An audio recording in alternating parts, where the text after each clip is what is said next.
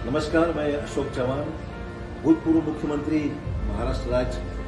अभी मैं हैदराबाद में इस तेलंगाना चुनाव के लिए कैंपेन में आया हूँ और मुझे बताते हुए बड़ा गर्व है कि कांग्रेस की स्थिति बहुत मज़बूत है। आज मैं मेरे साथ में यहाँ पर बैठे हुए हैं मलकपेट 58 मलकपेट जो कॉन्स्टिट्यूंसी असेंबली उसके उम्मीदवार हमारे शेख अकबर भाई मेरे साथ में यहाँ बैठे हुए हैं।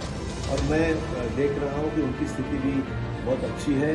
मैं हैदराबाद की और मलकपेट के हमारे जो वोटर्स हैं, उनसे अपील करूँगा कि अकबर भाई को आप अच्छे अक्सरियत से चुन के दें। एक अच्छा ताकतवर उम्मीदवार, कांग्रेस के लिए काम करने वाला सेक्युलर सबको साथ में लेके जाने वाला। और हैदराबाद में अभी चेंज की ज़रूरत है। कई सालों में यहाँ चेंज नहीं हुआ है। आज लोगों ने देखा है कि पिछले दस पंद्रह साल में बहुत नुकसान इस स्टेट का तेलंगाना का हुआ। तो के सी ने कुछ किया है न भाजपा ने कुछ किया है और एम आई एम को फ़ायदा उठाने में लगी हुई है। मेरा यही कहना है कि मदद पे एक अच्छी कॉन्स्टिट्यूंसी है। और हमारे शेख अकबर भाई एक अच्छे नौजवान साथी है।